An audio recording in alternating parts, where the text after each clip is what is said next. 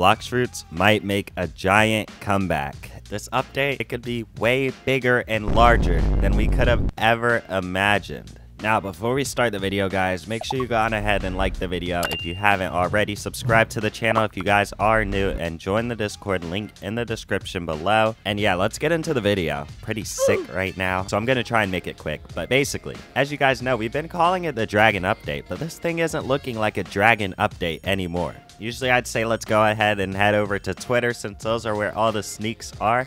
But I think my account got banned, bro. Don't worry, I have my ways, though. See, there's a new Port Town, bro. This is Port Town, and there's a new revamped version of it. It looks pretty, pretty nice. It kind of looks like the Cyborg Island in First Sea. Then we have new Sword Aura, bro. Oh my gosh, this stuff looks nice. And of course, we had the Dragon hand right here on the T-Rex. Dragon is going to be absolutely massive. It makes sense why there's literally an island level attack for for Dragon. Dragon is not going to be fair, bro. Everybody is going to cry and cope and break their computer screens. We even have new observation dodges and a new dragon race. Hey, basically, they might not be lazy. They might just be cooking still. The time frame is insane. Like, you, you could have put this in multiple updates. I would say I'm not mad. Still pretty mad, you know?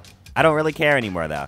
I just want an update. So this is some pretty good news. We've been getting consistent sneaks. And usually when consistent sneaks are on the way, that either means that there's an update coming or they're to ghost us again. And hopefully it's not the second option. But this finally means I'm going to be giving away Perm Dragons. I know people are going to be happy to finally be able to buy, get gifted perm dragons, bro. It's been offline for like eight months. But yeah, let me know in the comments below what you think the dragon fruit will look like. Let me know in the comments below when you think this update is coming out. And let me know in the comments below some video ideas for when the dragon update comes out. Or I don't even know what to call it at this point the update. I'll just call it the update. But yeah, if you did enjoy the video, make sure you leave a like, subscribe to the channel if you haven't already. Join the Discord link in the description below for giveaways, tournaments, videos, and more. And I'll see you guys in the next one.